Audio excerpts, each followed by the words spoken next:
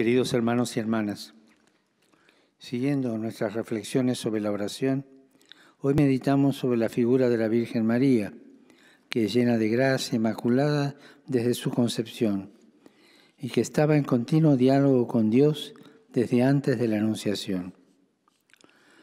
Ella, mujer de oración, forma parte de la multitud de los humildes de corazón, con los que Dios preparó la venida de su Hijo.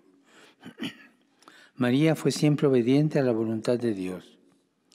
No dirigió su vida autónomamente, sino dejó que la voz del Señor orientara su corazón y sus pasos. San Lucas nos lo recuerda cuando dice que la Virgen conservaba en su corazón todo lo que le sucedía y lo meditaba, llevándolo a su diálogo con Dios para seguir con fiel obediencia el camino que Él le indicaba. Por su docilidad al Señor, María estuvo presente en el designio providencial del Padre y en los momentos culminantes de la vida de su Hijo Jesús, desde el anuncio del ángel hasta el misterio de su muerte y resurrección. Ella también acompañó los primeros pasos de la iglesia naciente. Oraba con los discípulos de su Hijo y oraba por ellos.